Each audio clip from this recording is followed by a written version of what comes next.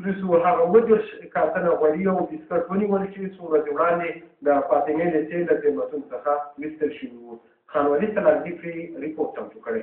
د امنیه قومندانۍ مرستیال مل پاسوال عبدالصبور اللهیار د کونړ ملي راډیو تلویزیون ته وویل چې د جنایي جرمونو سره د مبارزې پولیسو هغه غوړي او بسکټ چې څو ورځې وړاندې د فاطمې د لېسې له ګودامونو ویستل شوي وو او په یو سرای کې ځای په ځای شوي وو، د دوی له خوا نیول شوي او په تړاو یې دوه تنه نیول شوي چې دا مهال ترې پلټنې پیل شوې دي. نوموړي په دې اړه د کونړ ملي راډیو تلویزیون ته وویل. زمونږ د امنیې قوماندانۍ د جنایي جرمونو سره د مبارزې پولیسو تېره شپه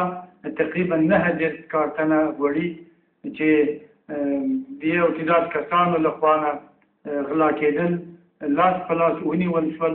او بیا د تحقیقاتو په پایله کې موږ دا ثابته کړله چې شل کارتنه غوړي نور چې جمعا نهه پنځوس کارتنه غوړي کېږي او ورسره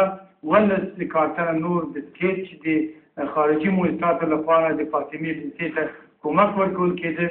دا یې ونیول او جمله اووه کسان په دې پېښه کې نیول شوي دي، تر تحقیقاتو لاندې دي. هغه سرایوان چې د دې سرای ته یې غوړي او د بسکټو کارتونونه راوړي وو، د ده په وینا چې څو ورځې به همدلته پراته وي. دغه سرایوان د کونړ ملي راډیو تلویزیون ته داسې وویل. زما نوم امان الله دی، د حاجي زرمحمد د سرای اوسېدونکی یم. خب ستا سره ته څومره بودی ګاډو چې چا راوړي زما زما سره ته یو ځل یو بودی لاول شي په واګي ګاډي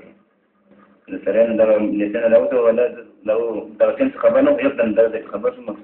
دا کس وته وی چې دا سره زما ده خیر رحمان په معنی او دلته دې زه ته کوم او دا نن بل شپې لګې لکه چې موږ کې دا وړي راول شي دي او دا بسکټ چې دې بلاک شپه نه مو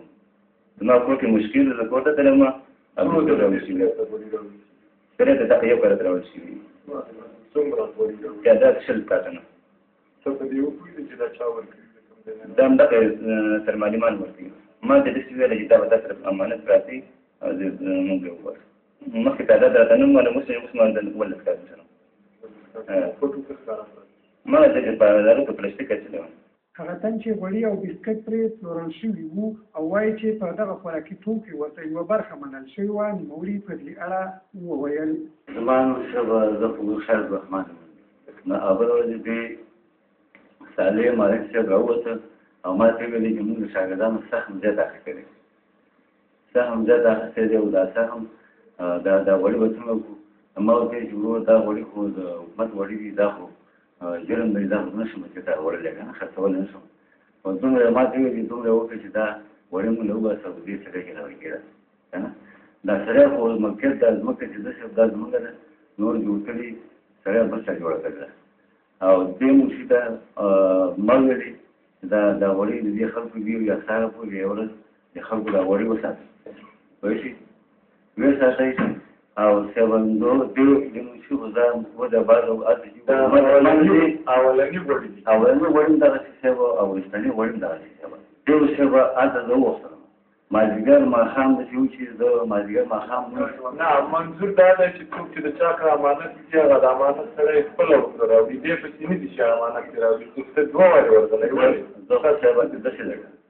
زه خو دوه وارې ورغلی یم صاحب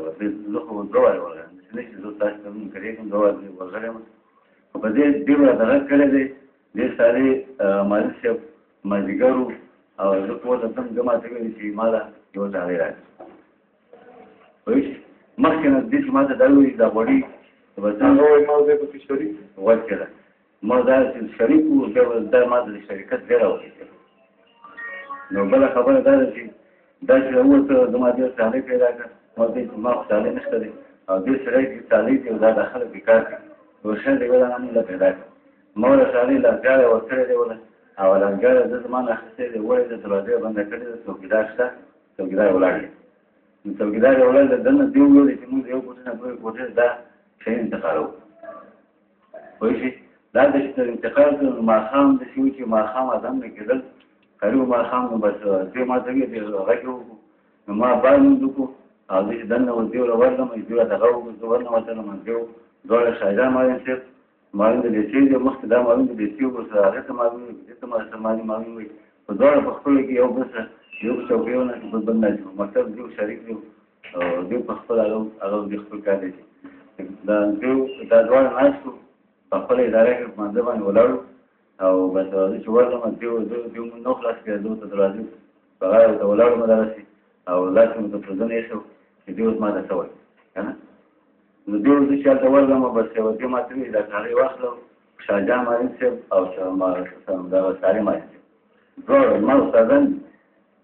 او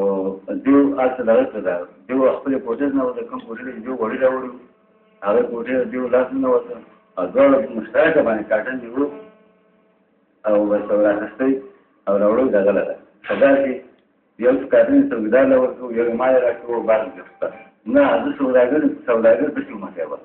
دې ما ته ویل دې سوداګر په دې ما نیول جمعه خر مخه ستاره وی چیرې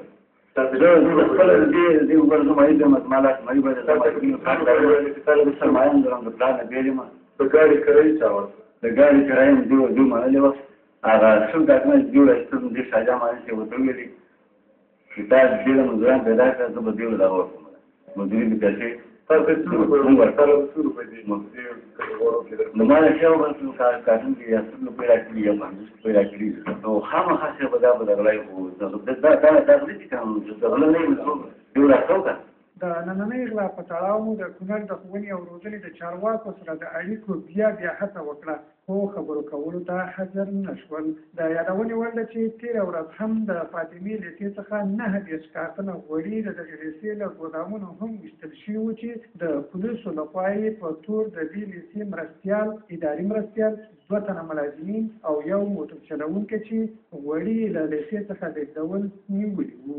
د او سي سي بي یا امنیتي ادارو ګډه اونیزه غونډه د امنیتي مسؤلینو د بحث په موخه د کونړ والي الحاص سید په